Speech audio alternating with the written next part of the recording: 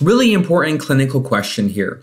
A 32 year old Caucasian female is referred to a gastroenterologist by her family physician for eight months of abdominal pain, foul smelling diarrhea that is floating, bulky stools, weight loss, and macrocytic anemia. Her personal history is relevant for allergic rhinitis. Physical examination shows grouped erythematous papulovesicular lesions on her arms, torso, and abdomen. Which of the following is the most appropriate approach to the management of this patient? Answer choice A, amitriptyline. Answer choice B, octreotide. Answer choice C, lactose free diet. Answer choice D, gluten free diet. And answer choice E, methysergide maleate. Now, take a moment to come to your own answer choice before we go through them together.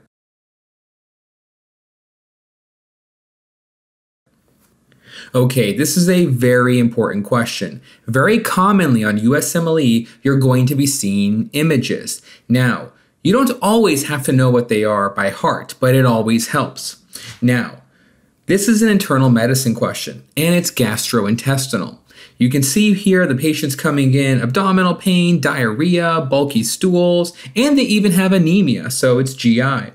Now, this is a two step question. First thing we got to do is figure out the diagnosis, and second thing we got to do is figure out the management of that disease after we diagnose it. And the stem here is absolutely required. We got to once again dissect the stem down, take out the key components, and figure out what we're dealing with for diagnosis, and then come to a management strategy. So let's do that. Step one, let's determine the diagnosis.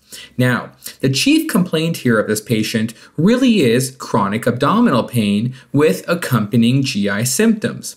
The patient did say she had eight months of abdominal pain. And the GI symptoms, when you really look at them in the question stem, they really are suggestive of malabsorption. The patient has foul smelling diarrhea. That's floating. The floating is because of high fat content bulky stools because not a lot of content's being absorbed by the body, so it's being lost into the stools, and weight loss because of malnutrition and malabsorption causing weight loss. And also, the blood results that are commented in the question stem are also consistent with malabsorption. The patient has a macrocytic anemia. Well, the anemia itself is the low hemoglobin, but the macrocytic component is the very large red blood cell. Now, the most common cause of a macrocytic anemia is a deficiency or lack of absorption of vitamin B12, which can cause pernicious anemia.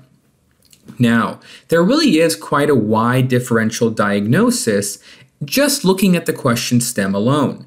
You could have prolonged antibiotic use, celiac disease, Crohn's, chronic pancreatitis, cystic fibrosis, lactose intolerance.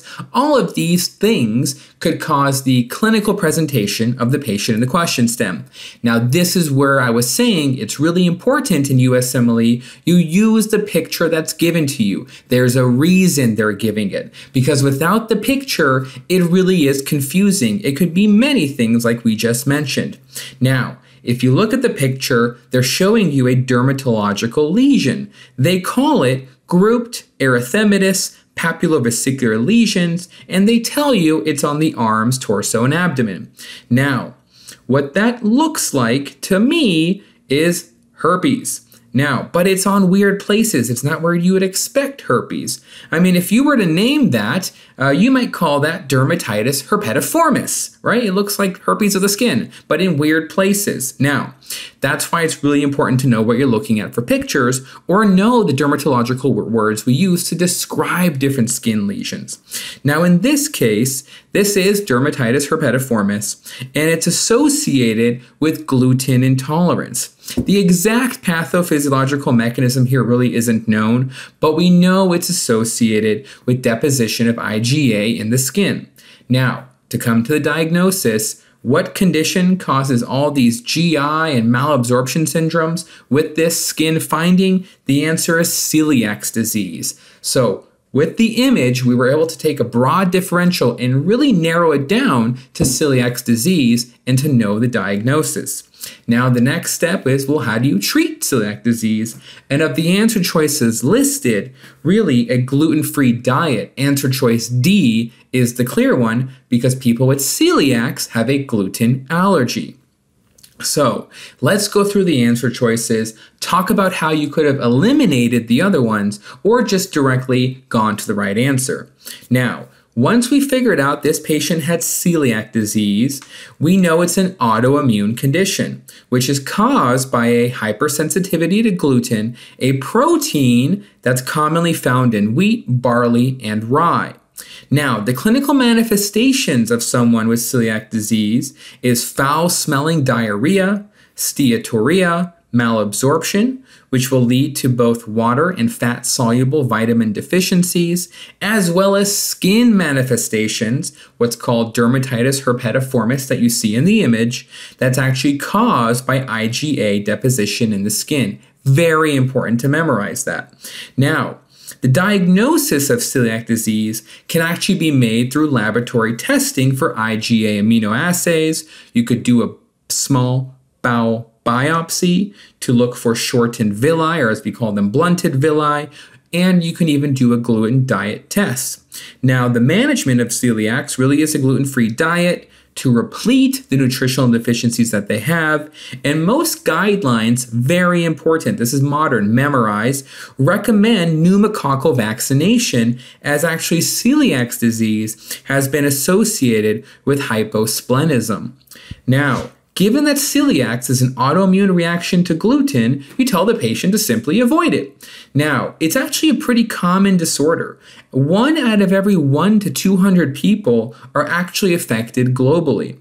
Now, like I said, you could do a small bowel biopsy to diagnose this condition, and what you're going to be looking for is villus atrophy, which will then obviously lead to malabsorption because the villi can't be there to absorb, and that'll eventually lead to anemia.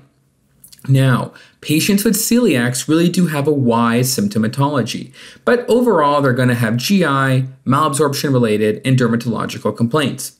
Now, usually, this was a 32 year old patient.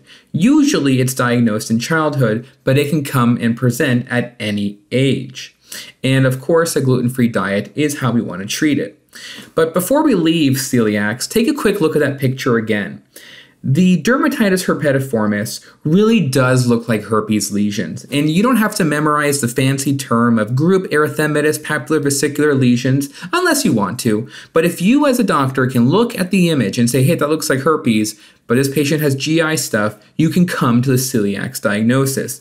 But for you to know, it's important that these skin lesions are actually itchy to the patient and they're fluid filled blisters. And again, it's caused by the IgA deposition in the skin. Now let's look at the other answer choices. Now, you can eliminate a lot of them once you figure out it's celiac disease. Once you know the diagnosis, well, boom, you can go straight to gluten free diet. But what if you couldn't figure out the diagnosis? How could you eliminate?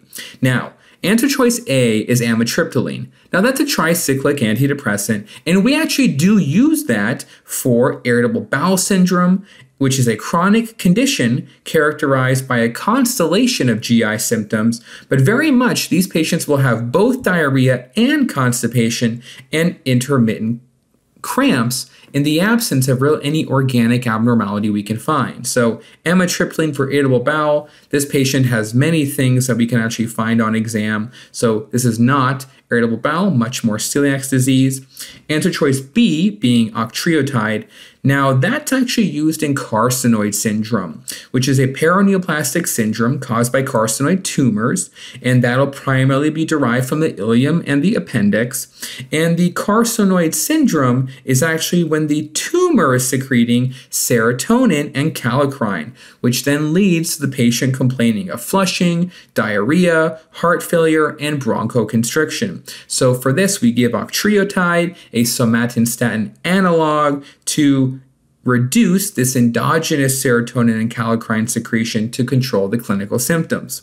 Now, answer choice C, a lactose free diet, is what you would prescribe someone with lactose intolerance. And they can have, you know, a deficiency or complete absence of the lactase enzyme.